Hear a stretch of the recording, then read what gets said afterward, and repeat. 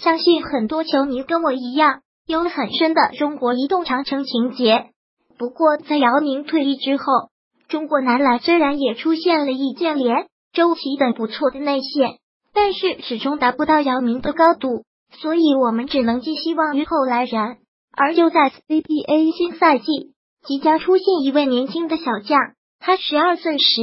身高就超过两米零五的麦迪，十六岁身高更是达到两米十七。他就是中国男篮名宿赵仁斌的儿子赵一鸣。赵一鸣出生于二零零一年，父母都曾是篮球运动员。父亲赵仁斌身高两米零七，曾在一九九六年入选过 CBA 全明星和男篮国家集训队。继承了父母优秀基因的他，自小身高就远超常人，拥有如此出色的身体条件，再加上父母的影响，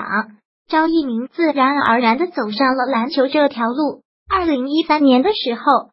刚学习篮球不久的他，还和麦迪一起参加山东电视台的一档节目，当时他的身高就已经超过了麦迪，而麦迪的真实身高大家都知道，在那之后。赵一鸣加盟了培养了顾全、孟铎、李慕豪、孙同林等球员的深圳男篮青年队。在接触到了系统的篮球训练之后，赵一鸣进步很快，身高也是越来越高。去年的时候，赵一鸣的身高就达到了两米十七。更为重要的是，和其他内线比较大薄的身材不同，赵一鸣不仅身高出众，而且体重也有一百二十五公斤。除了出色的身体天赋之外，赵一鸣的技术也很全面，不仅能够背身单打，还有一手不错的中投。